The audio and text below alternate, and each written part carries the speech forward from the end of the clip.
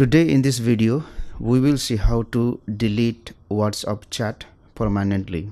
We will see how to delete a chat with an individual contact or we will see how to delete the whole chat from the WhatsApp permanently. Now I have opened WhatsApp application and suppose if I want to delete chat with a single contact then what I will do is I will tap and hold the contact and you have the button here at the top to delete but if I want to delete the whole chat then what I will do?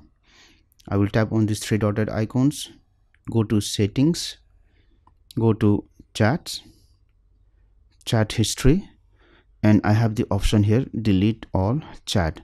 And if I press here I will be able to delete all the chat including the media such as photos and videos. Now this is the first step only but what you have is you still have the backup of the chat either in the google drive or in the phone itself. So we will be looking at how to delete those also. Let me at first open google drive and then i will tap on this profile icon here. And i should know where i have backed the whatsapp chat in which google account i have backed so once i know i will just select that google account and then i will tap on this menu option go to backups. As you can see there is whatsapp backup present in google drive application. And if i want to delete this one i will tap on these three dotted icons and then select delete backup. So in this way you can delete the whatsapp backup from the google drive. Now the next step is to delete the backup from the phone itself for that one what i will do is i will go ahead and i will open this folder samsung and then i will go to this option my files. And then i will go to this option internal storage.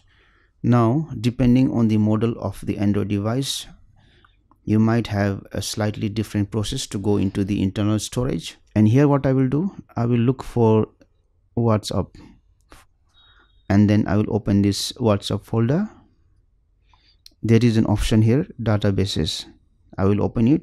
So these are the backup which are present in the phone locally. And if i have to delete these backups what i will do? I will tap and hold this backup at first and then i can select all. And if i tap on this delete button then i will be able to delete the backup from the phone also. So in this way you have to delete the backup from google drive as well as from the phone also and then you have permanently deleted whatsapp chat from android device. Thank you for watching this video. Please subscribe to my youtube channel and hit on the bell icon to get the notification of our latest videos for free